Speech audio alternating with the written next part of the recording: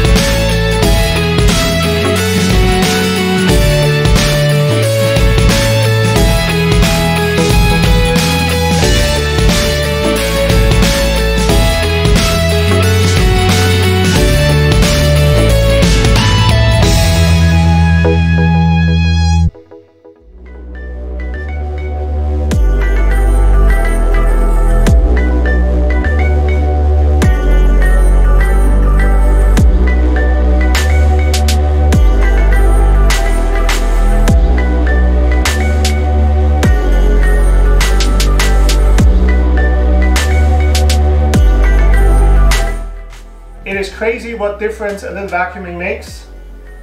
I am very happy with this purchase. Yeah, it's 50 bucks, but instead of having to clean out this all the time, I kind of clean out this, this bucket, which makes life much easier.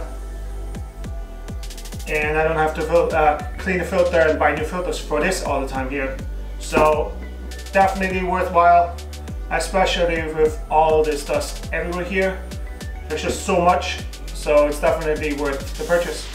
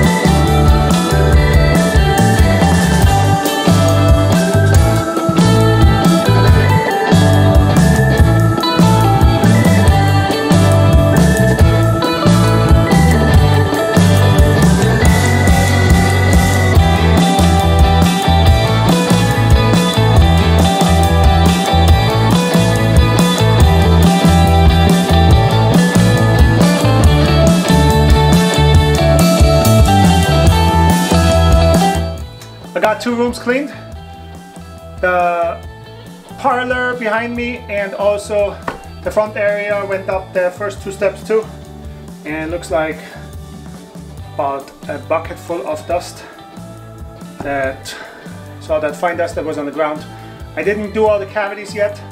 Main reason because the um, vacuum hose that I have here that came with the shop vac when I bought it a few years ago uh, is only an inch and a, a quarter, which is an inch on the inside. and a lot of the bigger pieces get stuck very easily in this hose. So I need to get myself a two inch hose, which the, uh, the Oneida dust separator actually takes two inch hoses.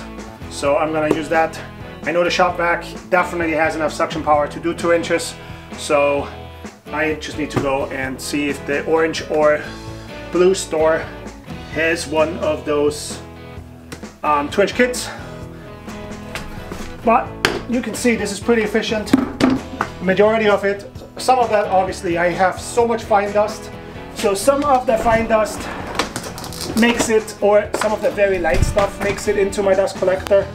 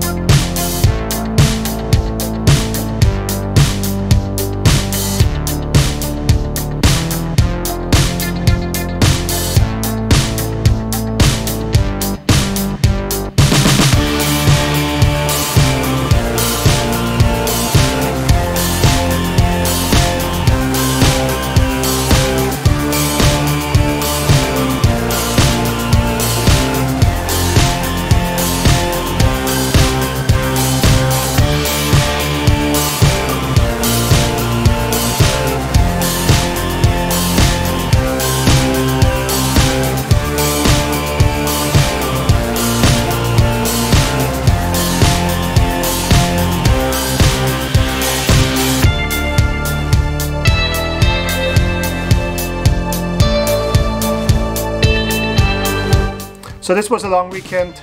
I think I was here about 16 to 17 hours.